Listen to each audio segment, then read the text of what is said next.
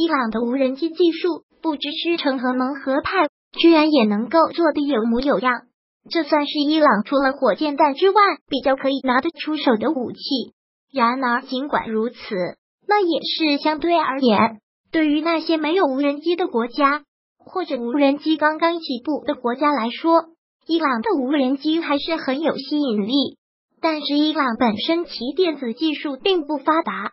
何况还要攻克无人机的发动机问题，因此伊朗无人机的技术来源一直是一个扑朔迷离的问题。有周边国家都缺乏无人机技术，因此伊朗的无人机在附近地区扩张势头迅猛。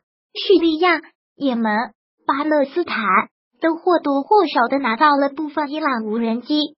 此外，某些武装组织也可能拥有伊无人机，如真主党。胡塞武装等等，伊朗无人机虽然算不上高端，但进行基本的侦查还是凑合的。部分无人机还具备一定的攻击能力，只是伊朗的无人机技术属于半拉子工程，没有配套的相关导弹技术，因此只能携带常规炸弹或者直接进行自杀式攻击。最近，胡塞就用一架抑制无人机袭击了沙特首都附近的一处炼油厂。攻击应该是成功的，因为不久沙特方面就对外宣称该炼油厂是意外失火，且已经被扑灭。这再次让人对伊朗无人机充满了疑惑。从也门北部到沙特首都也有千多公里，伊朗无人机是如何实现实现操控的？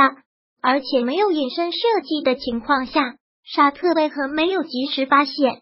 这也向沙特提了个醒：如果这次不是炸弹。运送的是化学武器，利雅得会怎么样？伊朗的整体科技实力是难以证明其现在拥有的无人机技术的。至少从胡塞操控伊朗的无人机来看，其还是具有较强的作战能力的。何况，既然胡塞能拿到，那应该不是伊朗最先进的无人机。其实，伊朗的无人机技术一部分可能来自于美国。早几年曾有新闻报道过一架美国无人机。被一款操控无损迫降在伊朗，伊朗是如何截获美军的信号的？又是怎么接替美国控制这架无人机的？这是一个谜。应该说，如果没有外国的帮助，伊朗的技术实力远远无法做到这一点。可能有的国家掌握这部分技术，但是不愿意自己动手，因此假手于人，让伊朗遥控迫降美国的无人机。最终，其技术与伊朗进行分享，伊朗获得一部分之后，无法再有进步；而那个幕后国家拿到了技术之后，吃透了相关技术，甚至推出了更多的无人机型号。